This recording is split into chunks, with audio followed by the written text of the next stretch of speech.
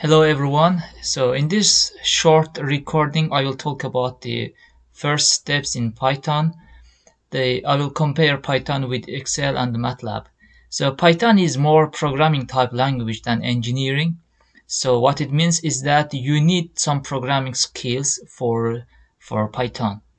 The second thing is that it has more diverse commands depending on the library that you use and the, but it is flexible uh, because it is open source and free so that everyone can input his part for the Python. So it is more flexible than the MATLAB and the Excel.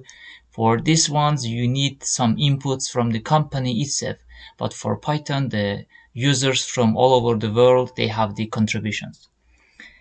And also for Python, you need to search and install the library that you need. So it's not like the Excel or MATLAB that you install it and that's all. No, for Python, you if you, for example, if you need to plot something, you have to find the library for plotting.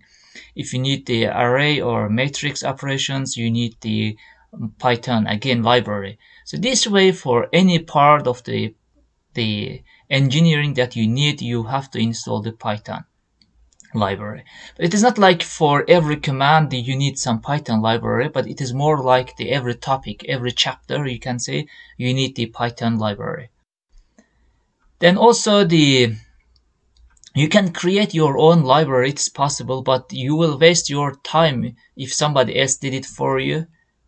That means that somebody spent time for it, but you are duplicating the work and also the is if you don't suffer from NIH syndrome, so uh, debugging your own library is not so easy. So if you have a library, if you try to build your own one, then the small comma error it can take it can take up days to find what is the problem.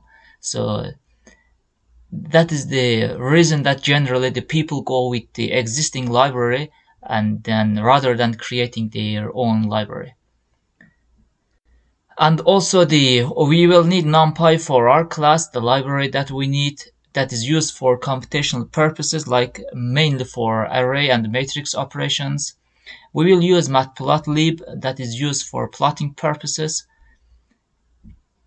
And also that is your best debugger is ChatGPT. So uh, you should use ChatGPT for Python more than the other ones because that is Python, as I said, more programming language that you always need help for debugging the problem in your code.